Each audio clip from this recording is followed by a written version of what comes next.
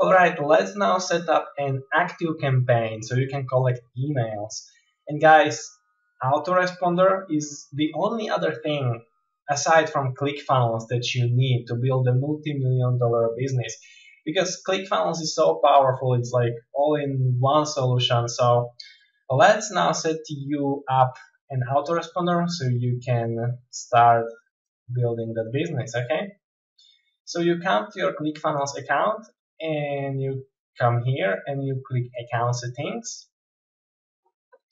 And uh, then you here you click integrations. And uh, before we do this uh, you need to register for an ActiveCampaign. And guys I've, I've tried MailChimp before and uh, even though MailChimp is free when you're starting out when you uh, get 2000 emails then it will become more and more expensive. So that's their business model. And uh, it doesn't come even close to the to what active campaign uh, offers for a very cheap price. And uh, it's really the one of the most effective uh, autoresponders that gives you also very specific da data and reports. So you know you, you get what you pay for and so now below in this lesson in the resources, you can download this PDF where you can uh, register for ActiveCampaign. So you make sure that you register through this link so I can share with you uh, automations later on in the next lesson. So uh, here you click try it free, right?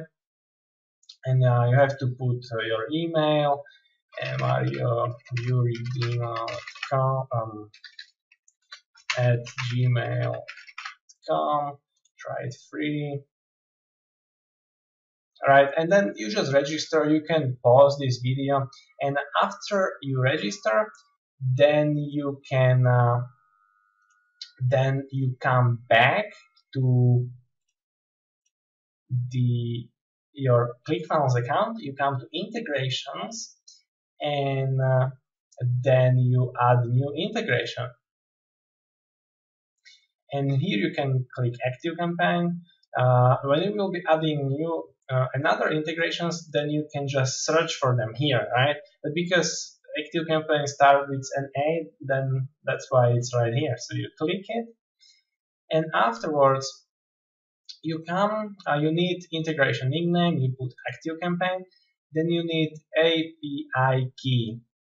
So um, after you register, uh, you come here to settings and then you click developer and here you go. This is the key that you need. So you copy it and then you just put it right here. And then you put, then you take also the URL you copy it and put it right here. And then you just add integration. Right? And just like this you have integrated an ActiveCampaign. And uh, um, you need autoresponder if you want to you know communicate with your customers and potential customers with people in your ecosystem right so yeah, that's that's all that's all for this lesson, and uh, now let's get to the next one.